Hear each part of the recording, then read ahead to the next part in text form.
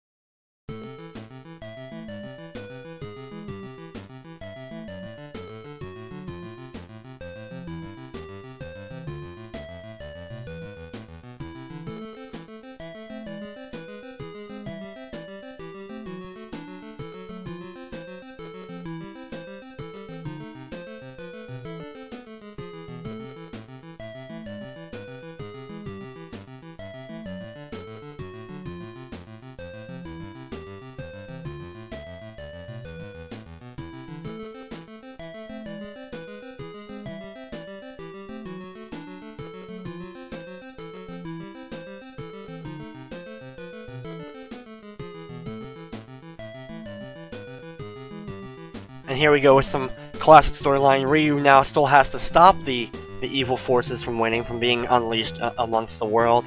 He wants to take Irene. Irene just tells him to go ahead, she'll be alright. And Robert steps in to say that he'll take care of her while we go ahead and stop the evil. Here is Act number 6.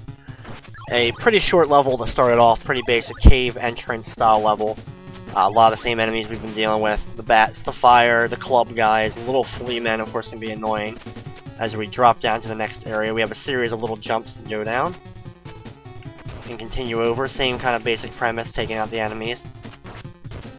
This can be a little bit of a pain because you can't quite see everything going on because the background kind of, you know, stops your vision. But take it pretty slow through there, you should be able to get through it no problem. Take out the flea men. Those are the worst just take them out. As, as soon as you see them, take those guys out. And now we have another cutscene as we are going to uh, see us enter, or see where we're actually heading, our final goal.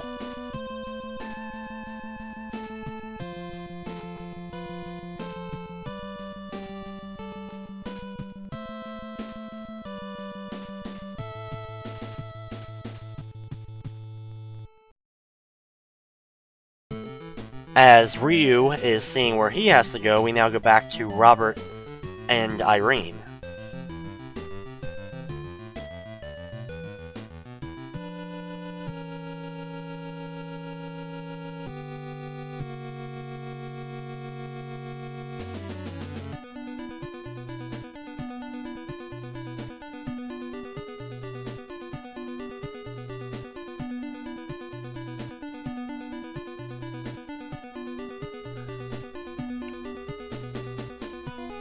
And now it looks like the a mysterious stranger, or someone Irene knows but Robert doesn't, hmm, has just shown up to confront Robert and Irene.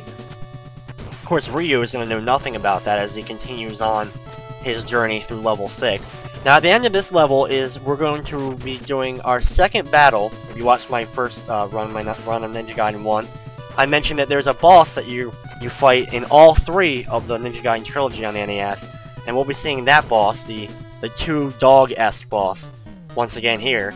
Uh, in this one, you can only hurt one of them. You can only take out the one, the other one is just kind of a decoy and you can't do any damage to. This is one of the toughest boss battles, in my opinion, in the game. Trying to only attack the one that you actually can hit can be a pain when they're jumping all around. You accidentally focus too much on the one, and the other one ends up jumping on you and doing damage to you. Like I said, overall, this is definitely one of the toughest battles to deal with. Now, the projectiles that they do shoot out aren't too bad, but having two things that do a lot of damage when they hit you, jumping all around, you can only attack the one, you can't even kill the other one, is definitely a real pain. They're almost taken care of, just a few more hits left. And there you go, they explode, and we will now move on to the next level.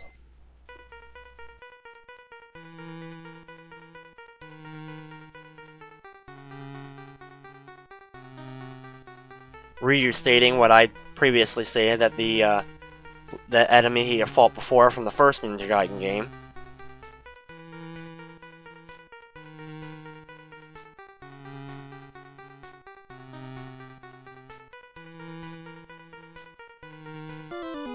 And we've already had one kidnapping plot of Irene throughout the game, but we now have a second one to deal with, as Robert was unable to protect Irene.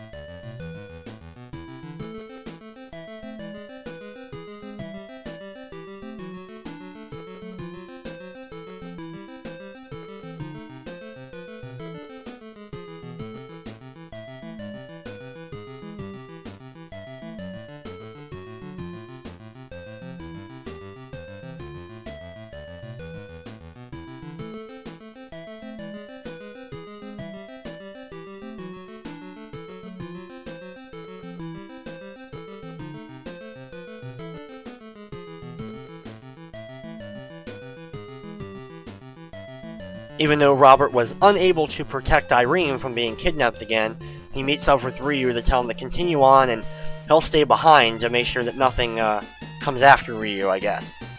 And he has his great Jungle Rat Rob, his nickname. He gets, I guess he has to have his own catchphrase. Here is level 7-1, a weird waterfall of green, disgusting, you know, Nickelodeon Gak uh, falls in the background. Now this is actually the final level of the game, or final act of the game. Act 7 is the final one, just like 6 was in the first one.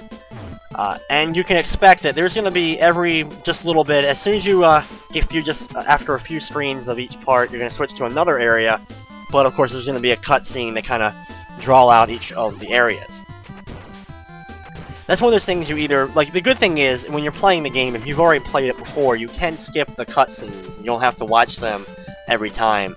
Uh, and if you actually take out all the cutscenes from the game, the game in length isn't really that long. It's, there's cutscenes that make it seem like a much more epic, much longer uh, game on the NES. And uh, if without the storyline, this game would have just, you know, of course, been a generic action, you know, hack and slash game uh, with, you know, pretty severe difficulty, you know, learning curve. But it still would have been, you know, just your average game. These cutscenes uh, not only are really well done, they just also uh, make the game longer, make uh, the playtime longer. I guess one of those things where it's artificially lengthening the game, I guess, but in uh, for these games at least, considering they're not the long to begin with, it's definitely a nice break, especially with how difficult these levels can be.